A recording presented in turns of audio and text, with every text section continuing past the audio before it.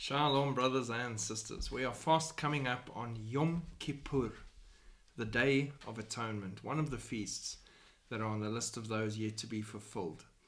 Now, the interesting thing is, if I had to sum up Yom Kippur, I would say, and there's many ways to do this, but once a year, one man. One man, once a year. On Yom Kippur, the holiest day of the year, the holiest person for Israel, the high priest, enters the holiest place on earth, the Holy of Holies chamber in the temple sanctuary. Here, he prays on behalf of all his Jewish brethren and secures their atonement. That is the process of Yom Kippur. It makes it so much more painful for them because there is no temple standing and why they are pushing so hard for a temple to be built. Now, there's tradition here and legend surrounding the process, which I really like and I think was possibly quite true, of bells on a garment and a rope. According to tradition, during the last couple of centuries of the temple's existence, a gold or scarlet rope was tied to the high priest's foot on the Day of Atonement. Another priest standing in the holy place, just outside the Holy of Holies, tended the other end of the rope. If the high priest's sins were not atoned for properly, God would strike him dead when he entered the presence of the Shekinah glory, the glory of God that filled the Holy of Holies. Since access to that part of the temple was strictly forbidden, the priests felt they needed a way to retrieve the body if necessary. Exodus 28, verse 33 to 35, specified that bells and knitted pomegranates were to be worn on the hem of the high priest's garment so that the sound of the bells would be heard when he enters the holy place before the Lord and when he comes out. Verse 35. The bells provided an audible cue to those outside the tabernacle of the high priest's whereabouts. They could tell when he entered and exited the Holy of Holies, entrance and exit covered by sound. According to the rope tradition, the bells provided a means of knowing if the priest had died.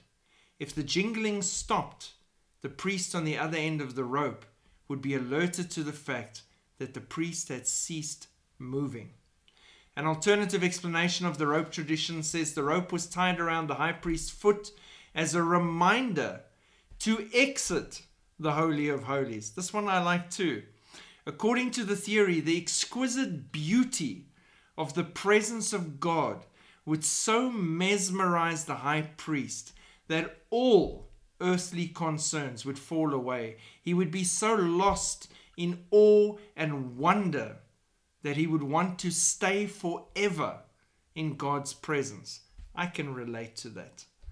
The rope served as a reminder to him of the real world outside and bring him back to the people who needed him.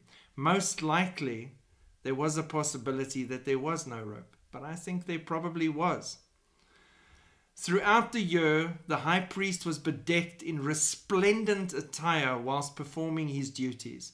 The high priest's vestments featured gold and precious stones and finest materials, and when entering the Holy of Holies, he was clad in a simple, pristine white linen garment, not a touch of opulence or grandeur anywhere. White garments.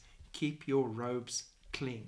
All you come with is yourself and that clean garment. No gold, no precious stones, no nothing else is going to help you in the presence of God. I want to give you uh, some reference here in Hebrews 4, verse 14 to 16. And you can look at 1 Peter 2, verse 9, and Revelation 1 6 as well. But in Hebrews 4, verse 14 to 16, it says, Seeing then that we have a great high priest who has passed through the heavens, Jesus, the Son of God Let us hold fast our confession, for we do not have a high priest who cannot sympathize with our weaknesses, but was in all points tempted as we are, yet without sin. Let us therefore come boldly to the throne of grace, that we may obtain mercy and find grace to help in time of need. Our high priest, Yeshua HaMashiach, Jesus the Messiah, is there for us, and we can boldly approach the throne of grace at any time. We have relationship with our high priest who understands us perfectly.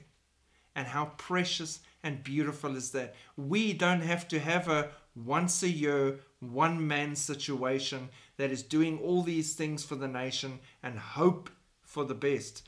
We have a all the time, constant approach to the throne of grace through the blood of Jesus Christ, which has covered us and made us his own. And we can approach him at all times, anywhere, not just once a year, one man. God bless. Keep looking up. Shalom.